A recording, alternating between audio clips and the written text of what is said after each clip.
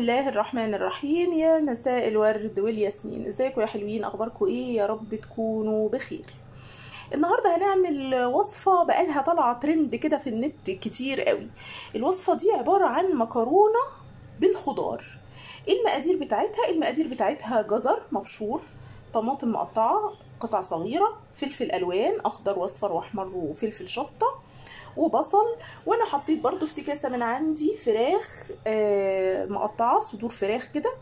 هنشوف هنعمل إيه مع بعض. أول حاجة هقطع الخضار ده كله وهوريه لكم قطعت الخضار أهو كله آه بشرت الجزر وقطعت البصل مكعبات صغيرة والطماطم والفلفل والفلفل الألوان. ودلوقتي حطيت آه الحاجة اللي أنا هعمل فيها على البوتاجاز وحطيت فيها معلقة زيت ذرة.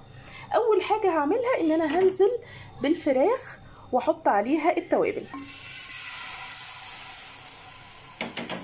التوابل ملح وفلفل وكمون وكل حاجة. بعد ما حطيت الفراخ وخليتها تتشوح شوية حطيت التوابل بقى ملح وفلفل وكمون. أنا في كل الأكل بحط جميع التوابل اللي عندي. بتخلي الريحة خيالية والطعم ملوش حل. حطيت البصل وهخليه يتشوح شوية. وبعدين هحط بقية الخضار. وحطيت كمان مكعب مرق. هنا. ريحه التوابل جميلة جدا جدا يا جماعة. هحط بقية الخضار وأوريكم. الريحة تحفة يا جماعة.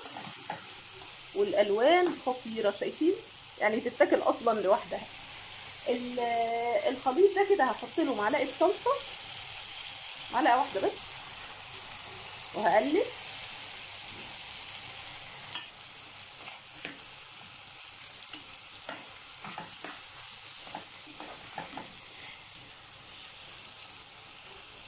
هخليه شوية يستفتك وبعدين نشوف الخطوة اللي بعد كده.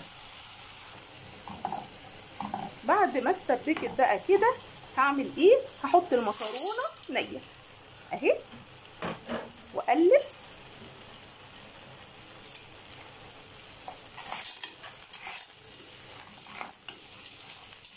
أسهل مكرونة ممكن تعمليها في حياتك.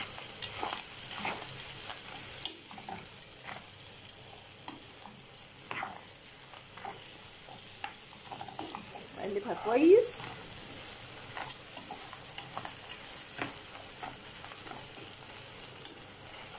وبعدين أسقيها مية بتغلي واظبط الملح بتاعها وأغطي عليها لغاية اما تستوي. وكده أكلتنا خلاص.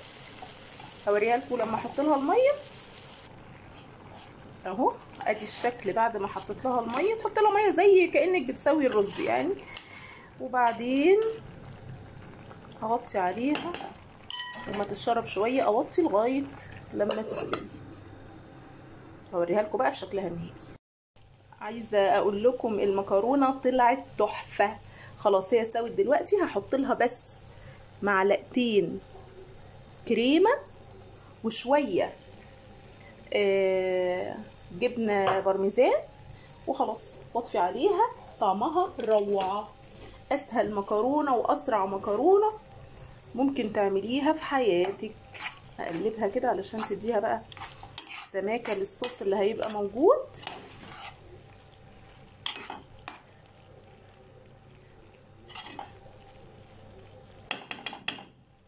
أرش عليها شوية جبنة.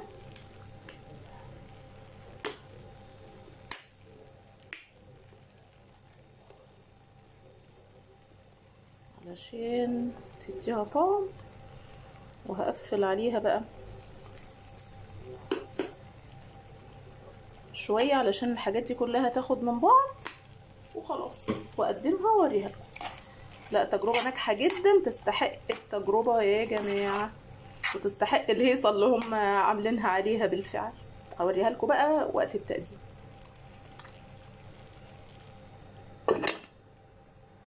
ادي شكل المكرونة بتاعي. النهائي طالعة تحفة. طعمها خيال وريحتها جميلة جدا جدا وسريعة ما خدتش وقت خالص. يعني يدوب ربع ساعة أو عشرين دقيقة على الأكثر. وفيها خضار وفيها فراخ وممكن تعمليها بلحمة ممكن تعمليها بتونة ممكن تعمليها من غير خضار بس. جميلة جدا جدا جدا. جربوها وعلى ضمانتي حلوة جدا. أنصحكم فيها وبقوة. أشوفكم إن شاء الله في فيديو تاني قريب جدا.